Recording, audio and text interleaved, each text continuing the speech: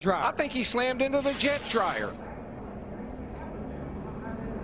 They're trying to clear debris off the racetrack, and the car brakes, won't steer, and he slides up the track and into the back of that surplus helicopter jet engine on a trailer used to dry the racetrack. Uh, Mike, I saw sparks coming out of the car as if it had a tire down or something. What an incredible turn of events I've never, I've never in my life. Oh my gosh. And all that spilled jet fuel found something hot to ignite it. Safety workers quickly on the scene. And this is a bizarre twist to this Daytona 500. Down in turn number three.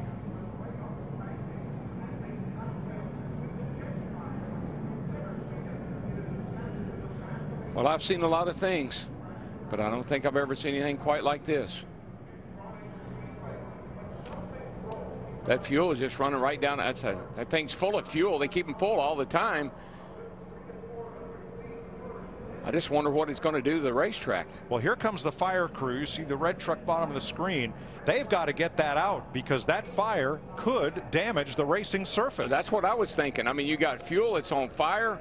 Uh, it can eat that asphalt right up. It is commonplace for track safety rescue track drying vehicles to circulate the track under a caution flag.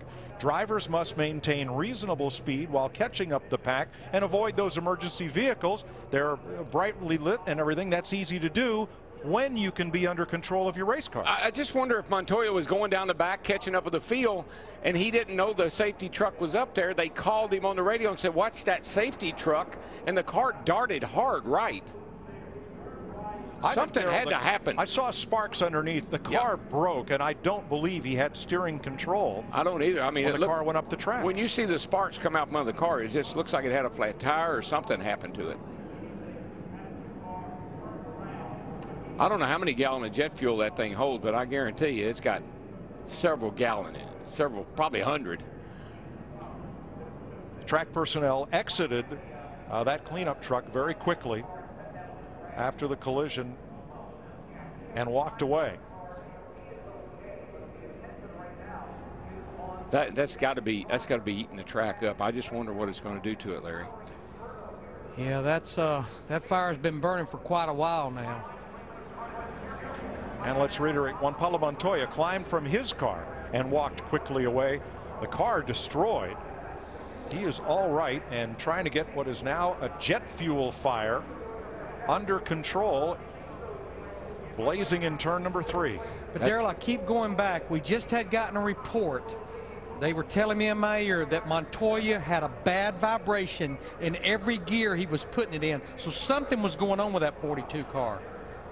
The race has been red flagged.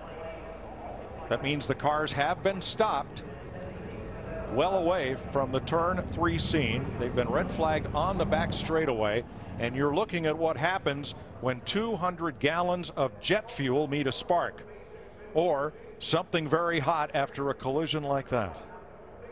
Yeah, that thing just burst into flame. I mean, it was unbelievable.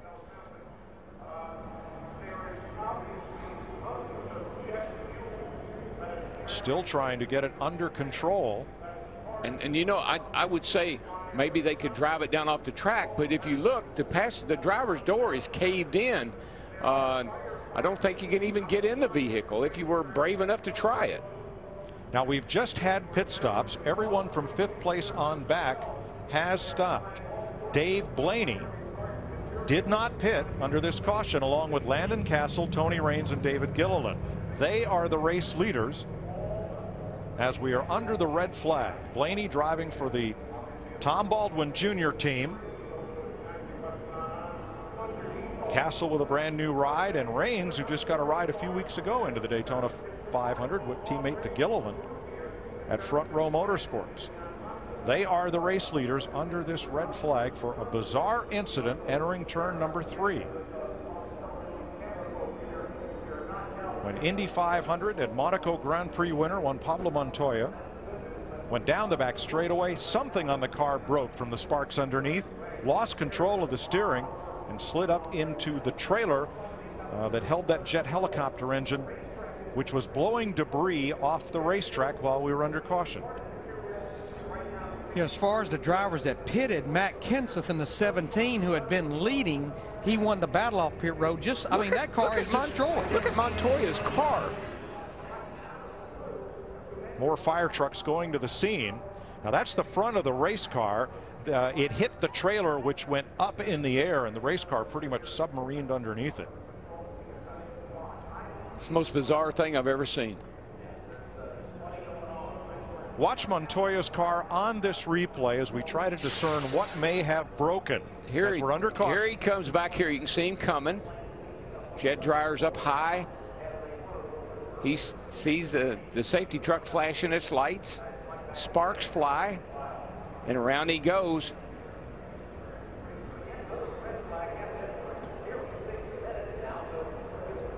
Here's a, here's a different angle. See the safety trucks up top? I mean, it just exploded. When it hit it, it just exploded. And he was traveling at a high rate of speed, Oh, yeah. trying to catch back Trying to up catch with up the the field. back of the field.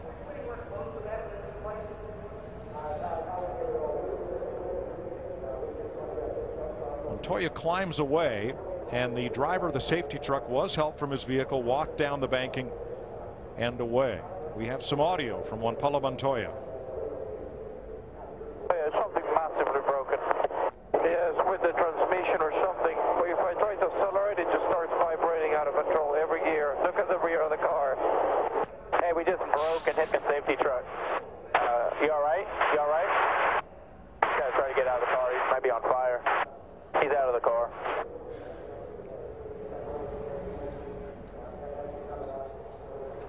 Let's go back to Montoya's pit stop prior to this. And a lot of work going on under the car, Larry. Yeah, evidently, you know, he was talking about maybe the vibration and